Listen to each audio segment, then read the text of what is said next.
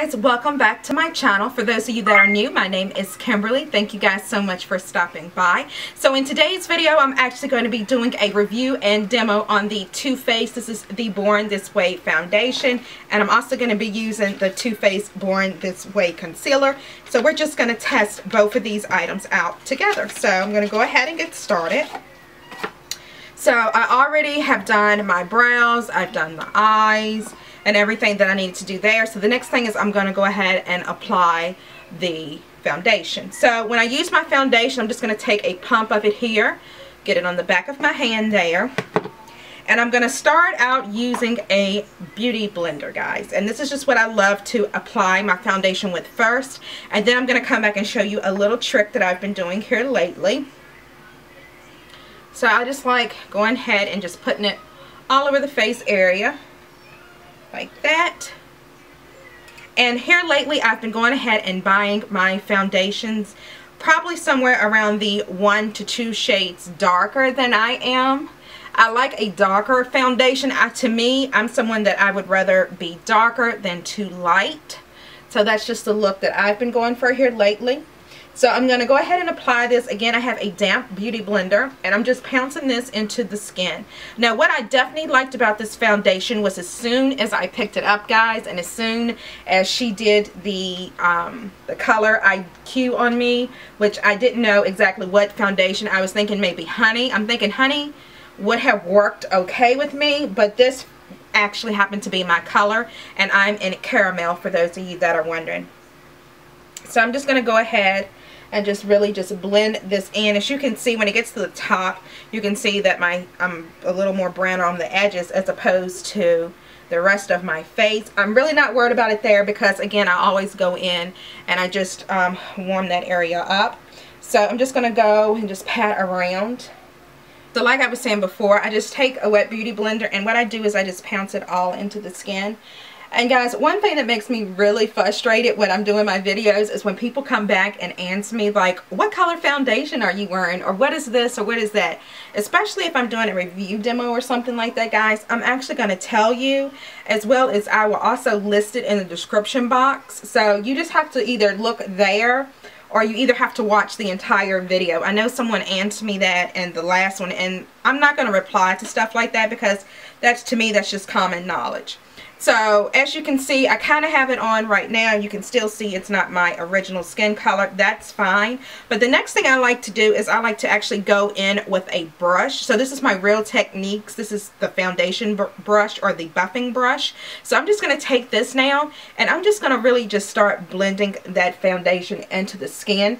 Now for me, what I found out when I tend to do this, it really gives you more of a flawless look and it just makes sure that you have distributed the foundation all over your face evenly. So I just like to go back in with that. It just makes it look a little bit more blended for me. And that's just the way that I've been liking it lately. Always try to bring it down the neck area as well, guys. You don't want that whole foundation line. That is like the worst thing. And it's definitely one of my pet peeves. So, yeah. So, there we have that. And as you can see, when you put the foundation on, I just use a damp beauty blender, but this foundation is kind of giving off that whole dewy appearance. I think you guys can kind of pick it up on camera, how the, the sides of my face look a little um, dewy. And the foundation has actually already set because I answered a phone call, which I'm probably going to get another one here in a little bit. So what the foundation claims is it's infused with coconut water, alpine rose, and hyaluronic acid so for a smoother appearance. Now I have used this foundation before guys and I have to say for someone that has dry skin like I do I'm not really a big fan of it. However I did want you guys to go ahead and see how it applies. So now I'm taking the Too Faced Born This Way concealer which is the think it was called Radiant something. Radiant Concealer, Natural Radiant Concealer. It's not like another concealer we know of. I'll probably be doing a um, battle of the brands on those two. So anyway, I'm just going to go ahead now and put this underneath my eye area. Now taking this out guys, this is actually a really kind of a thick formula concealer from what I've been using. Of course you guys know that my, my holy grail high-end concealer has been the Urban Decay um, Naked, is it Naked Concealer? That's the one I really like. So again, I'm just taking a wet beauty blender here and I'm just going to dab this into the skin. I always try to get my concealer to be at least one to two shades lighter because I want it to brighten up that under eye area. So that's what I'm doing now. And I just like to get in that little space up there right underneath the eye. And then I like to go in and set with a powder, which I don't see that I brought over to my desk. So that's going to be the next thing I go get. Um, but right now I'm actually going to take a little bit more of this concealer and I'm going to just put a little bit on the chin area just to lighten that up a little bit. I'm going to put a little bit down the bridge of the nose and then I'm going to highlight the course of course the center of the forehead. So I'm just going to go ahead and do that again with the damp beauty blender. And when I get to the center of my nose, I just take the Beauty Blender, guys, and I just squinch it together and kind of just squeeze it to go right up the center of the nose. So it goes right on up there. And then when I get to this area, of course, I just kind of like branch it out like that. And again, I always use my Beauty Blender. And when I use it, I just like to pounce all over the face. I'm not taking it and rubbing or buffing it or anything like that in. Because again, it is a sponge. So you definitely want to be aware of that.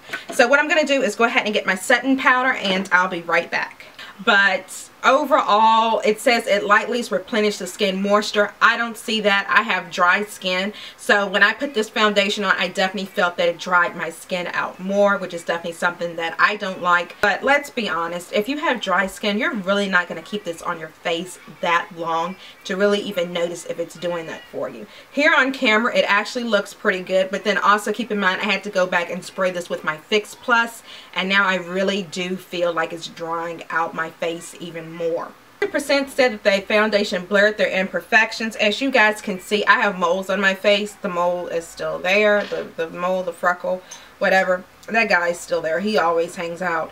Um, there are some foundations that I put on where I can almost get him to the point of where he's gone, but not with this one.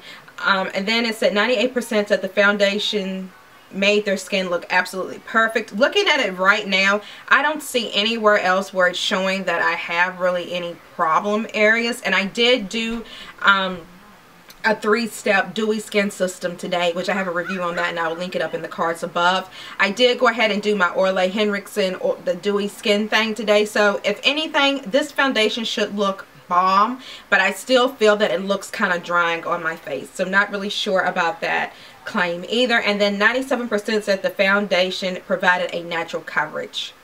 Not the case, guys. I did not see that either as I feel like I can definitely tell that I have foundation on. It feels almost to the point of where it feels like my face is going to crack at some point. So the foundation, guys, totally not worth it. So definitely skip out on the foundation.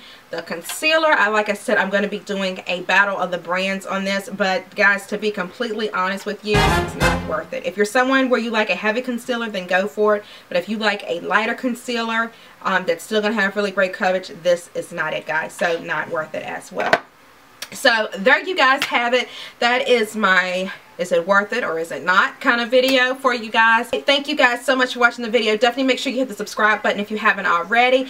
Also, you can follow me on Snapchat, Instagram, and Twitter, all at Posh Life Diaries. And I will see you guys in the very next video. Thanks for watching. Bye.